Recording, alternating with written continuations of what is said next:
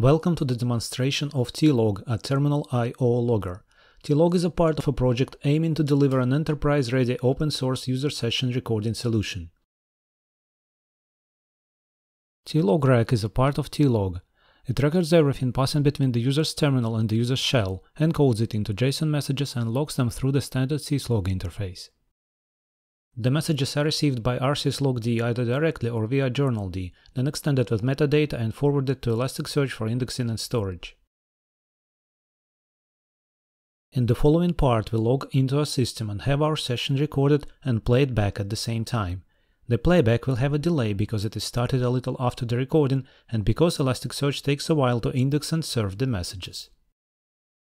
As soon as the user is logged in, we find out the created session's ID and use it to request the session's recording from Elasticsearch using tlogplay, the playback part of tlog. First we try a couple basic commands. A failed sudo attempt.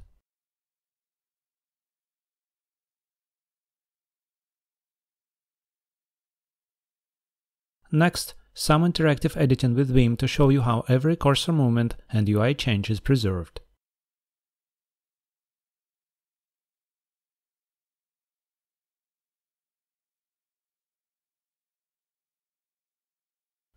And finally, a Midnight Commander session finding and opening the tlogplay configuration file.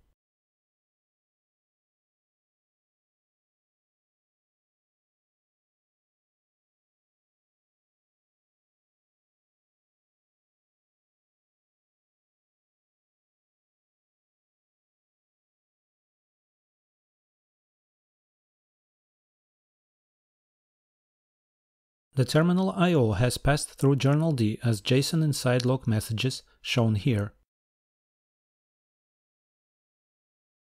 Then it was stripped and augmented with extra metadata by rsyslogd.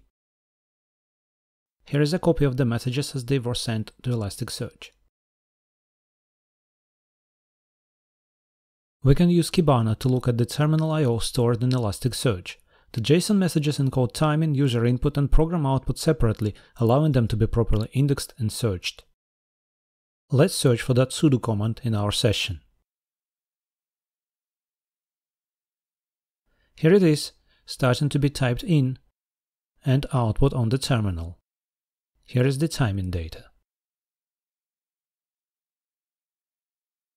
And here is the rest of the input and the beginning of the command output. Thank you for watching. Please visit the project website at scribery.github.io for more information.